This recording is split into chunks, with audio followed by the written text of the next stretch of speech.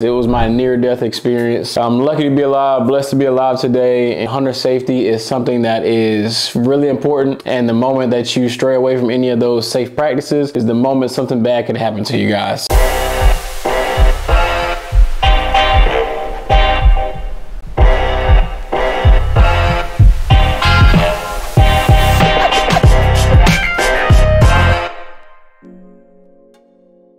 What's up, y'all? This is Adrian, aka Styles with Ace, on YouTube, Ace Adventures. If you're still rocking with me, I appreciate you. I know I just started my page last year. Things are moving along, trying to get a, uh, a schedule of getting all these videos out for you guys. So everything's been smooth sailing so far. So I appreciate you. If you haven't, feel free to check out all of my other videos that I've already posted. On this page, I'll be posting my hunts, any riding I do on my dirt bike, or any outdoor trips that we take, me and my wife, or just me and my boys. A lot of different content on on this page related to my outdoor adventures, hence Ace Adventures.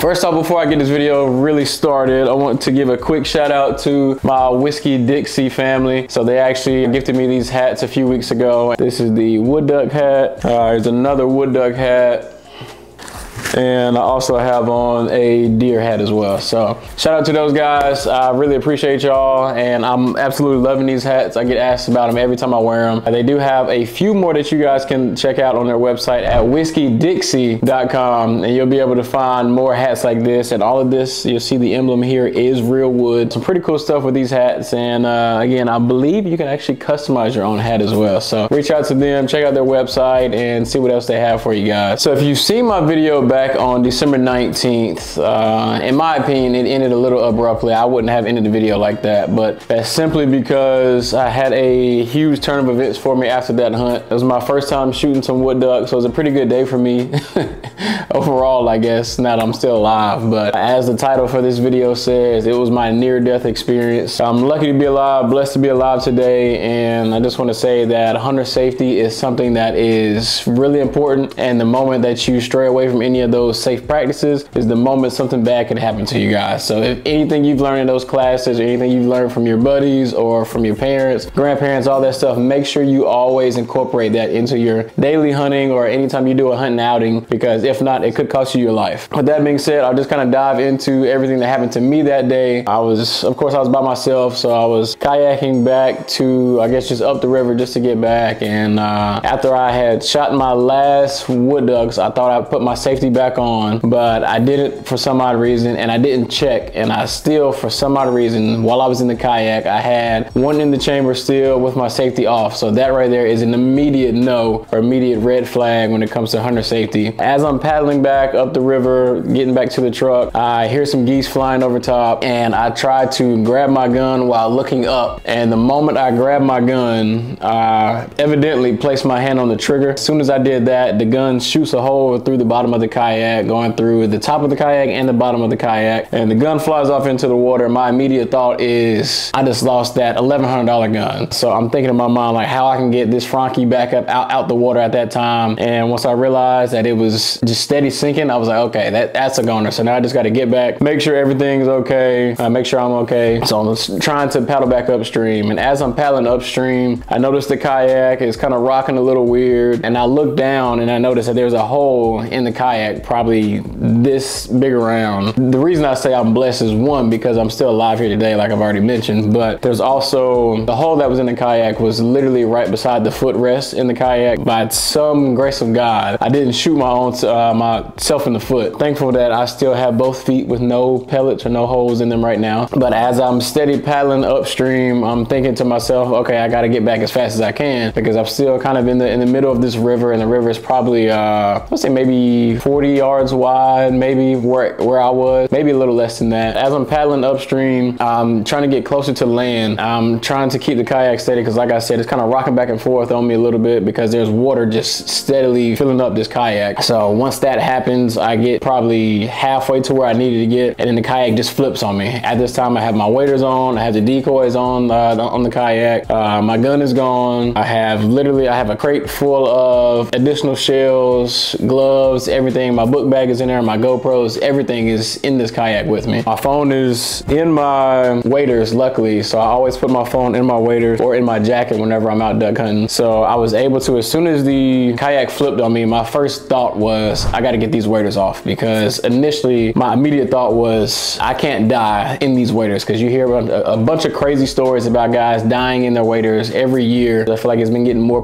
uh, more publicity. That was the scariest thought in my mind. I was able to get my waders off and once that happened, I got my waders off and I'm kind of floating on my back and thank God I can swim. I was holding on to the kayak still because it kind of flipped over on me like I said and it was just like I'm able to hold on to the back of the kayak at this point. So I take off the waders, push them down, they're floating down the river and I have on this huge waterproof insulated duck hunting, I guess vest if you will, a sweater or a pullover. So that is super heavy. I've got on some thick pants. I got on two pair of socks. I think I had on two shirts, two long sleeve shirts under the pullover that I had on. So at that time I had a lot of clothes on. So I'm still holding on to the back of the kayak and the kayak's starting to sink. So I'm trying to paddle, but nothing's working for me. So I push off of the kayak and there's some trees off to my right side. So I kind of swim off to the trees. The first tree I grab onto, like I'm trying to calm myself down and not panic. While I'm doing that, I'm trying to wrap my arms around this tree and I'm just steady slipping, steady slipping. So for me, I'm like, okay, I got to find another tree. I got to find another tree. So I look to my left and there's a few other trees beside me. So I'm able to push off of that tree that I'm on or trying to get on and grab onto another smaller tree. And at that point, uh, I have my phone in my mouth. Like, uh, I don't know if you'll be able to see it here, but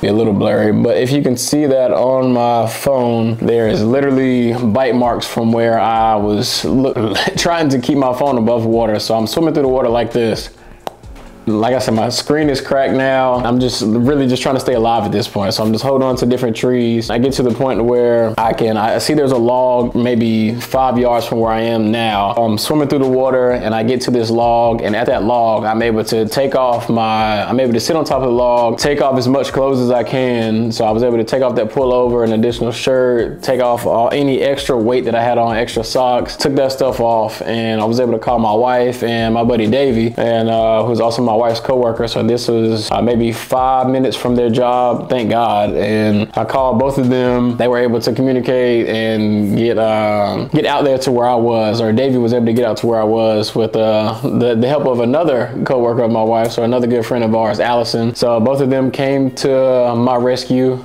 I love you guys.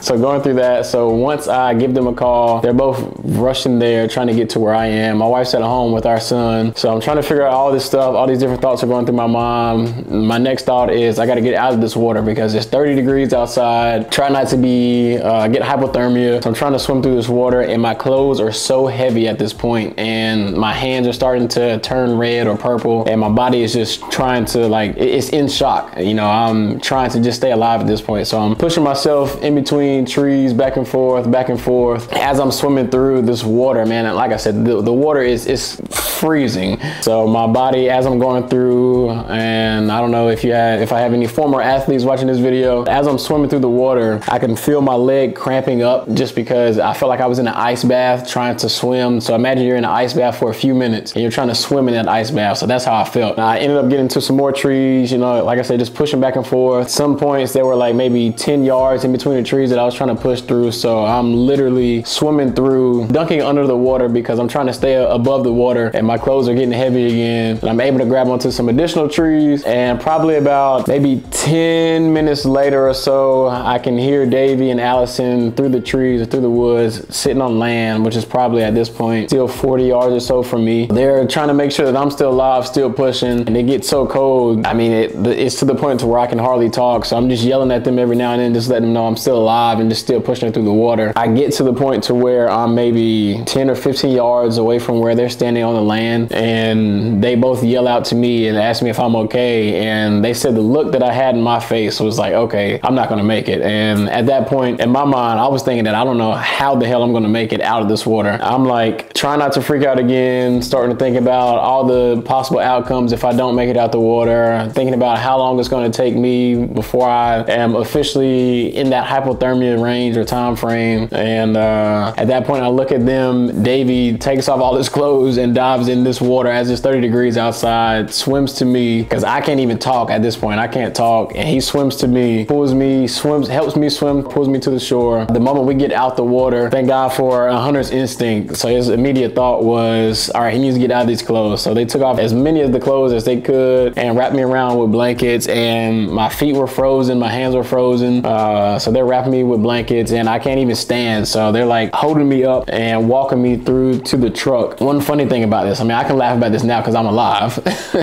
but as he was pulling me out the water, I'm yelling, ducks, ducks, get the ducks.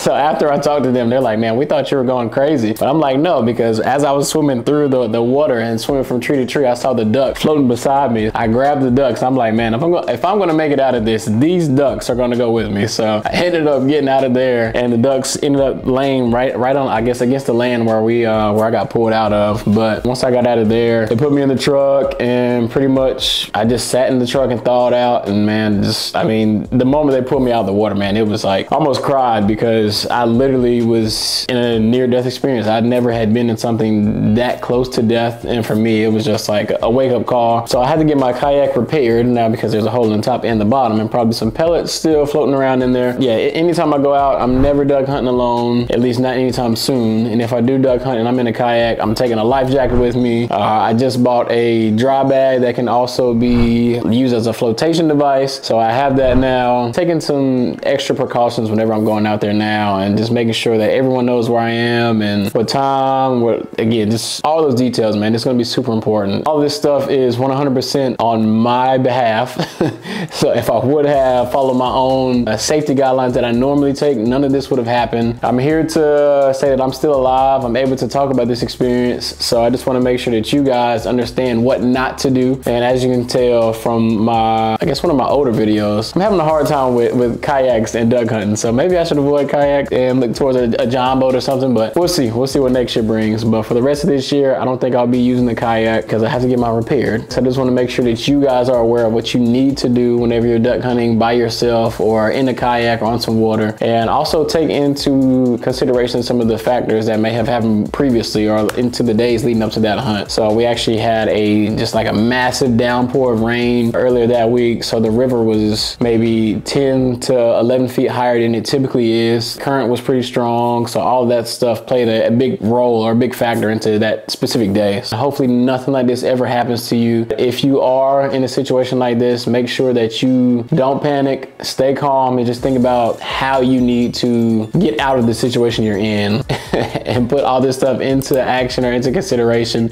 And don't do like I did, but I'm alive and well, so I can joke about it. All my family can give me crap about it now. That day, it was a pretty rough day. Glad to be alive. You guys will be seeing more content from me coming soon. I've been working on a lot of different hunts and been going on a lot of bunch of uh, duck hunting excursions, if you will, or duck hunting adventures with my boys Frank and Jeremy lately. A lot more content to come, but if you're still here, I appreciate you. And um, again, stay safe out there. Adrian out.